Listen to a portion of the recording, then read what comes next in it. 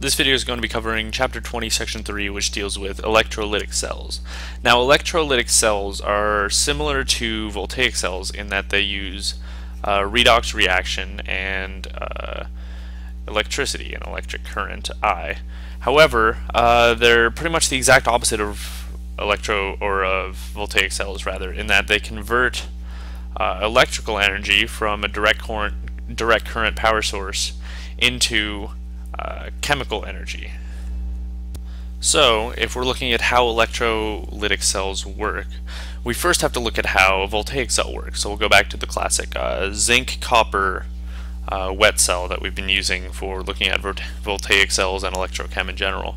Uh, and if you'll remember, uh, in a voltaic cell, naturally the electrons will flow from the zinc across to the copper where they'll, where they'll form solid copper ions.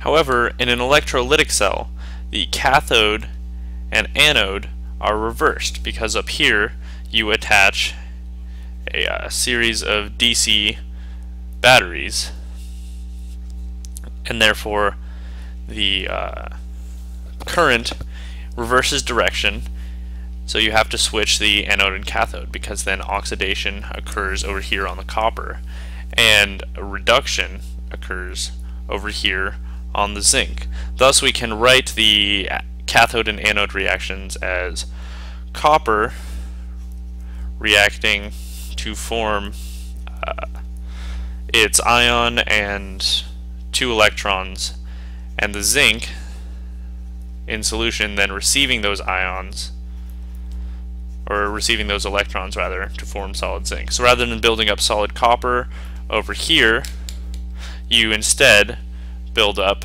solid zinc over here. So these are pretty much the exact opposite of voltaic cells in that these require uh, an input of energy, whereas voltaic cells output energy, as you remember, like those batteries. As well, these can cause uh, non-spontaneous reactions to occur by brute forcing the energy into them. Oppositely, voltaic cells uh, take a spontaneous reaction and output energy. So for a more specific electrolytic process, we'll now look at electroplating, which is an electrolytic process in which a metal ion is reduced and solid metal is deposited on its surface. In this case, you have solid silver here uh, dissolved, or rather uh, in a solution of silver cyanate with the silver ions being deposited on this poorly drawn bracelet over here. And basically how this works is that the silver uh, breaks up, the solid silver uh, breaks up into an ion in solution as well as a uh, electron. Then these silver ions pass through the solution to complete the circuit, uh, going over to uh, this bracelet, where the silver ions combine with an electron that makes its way through this wire, through the batteries, which are forcing the electrons to go this way. Otherwise, the spontaneous process would be for uh, the silver to gain metal. Uh, and then the silver is reduced over here to deposit solid silver onto the jewelry. Moving on now to rechargeable batteries. Now rechargeable batteries like the uh, lithium ion uh, batteries in your laptop or the uh, lead acid batteries that power your car work as both voltaic cells as well as uh, electrolytic cells. And this is because when they're acting as voltaic cells, they're discharging. In other words, they're taking their chemical energy and converting it into electrical energy, whereas oppositely, when they're acting as electrolytic cells, they're taking their they're taking in electrical energy from some outside source. In the case of lead acid, that's from your engine. In the case of lithium ion, that's from some power plant nearby that's powering your house. Uh, they take this electrical energy input and convert it back into chemical energy, which they can then discharge as a voltaic cell when on the move and not connected to an outside power source.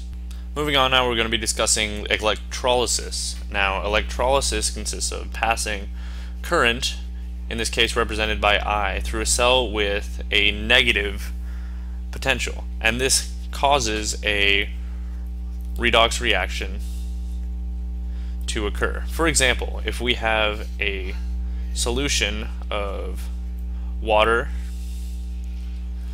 which uh, is a slight electrolyte because it has, you know, the positive hydronium and negative hydroxide ions in a certain concentration within it. And we take two electrodes, poke them up through, and then uh, run these electrodes, connect them to a battery, usually represented by these lines in schematics.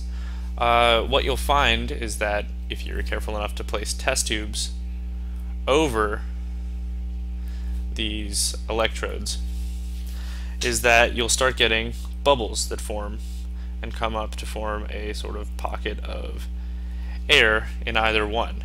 And this is because what you're doing in this process of the electrolysis of water is you're breaking down the water into its constituent uh, hydrogen and uh, oxygen. And this is the this is a chemical reaction. This isn't the standard redox equation, or at least not for the uh, the half reactions. But if you remember from our episode on thermochem, that uh, this actually requires energy to do. In other words, this is a non-spontaneous reaction. It has a negative Gibbs free energy value. And so what ends or a positive uh, Gibbs free energy value. So you're taking energy from these batteries and forcing a non-spontaneous reaction to occur through electrolysis. And if you look at the two half processes, you'll notice that at the anode, you're forming the oxygen, whereas at the cathode, you're forming the hydrogen.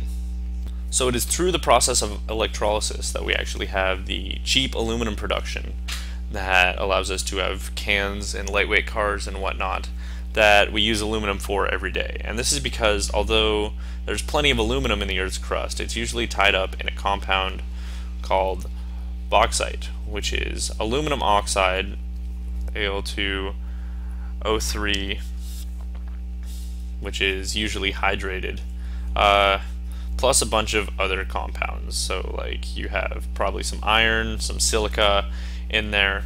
And so there's a complex process known as the Hall-Héroult process to purify aluminum and get metallic aluminum out of all this other stuff that's going on. And the first step is you take the bauxite and dissolve it in a NaOH solution.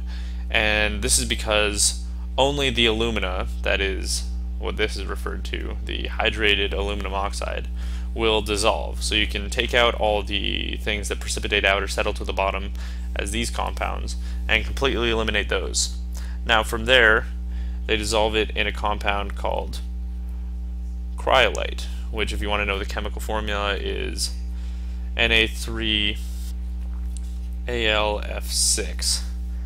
And this reduces the aluminum ions in the solution because these aluminum ions come out as uh, positive aluminum ions from both the cryolite and the uh, leftover aluminum and it reduces them so you know they gain their three electrons from uh, wherever this sodium that gives them up to form solid aluminum which can then or in this case because it happens at such a high temperature it's actually liquid aluminum, which then falls out of solution and is then uh, collected up.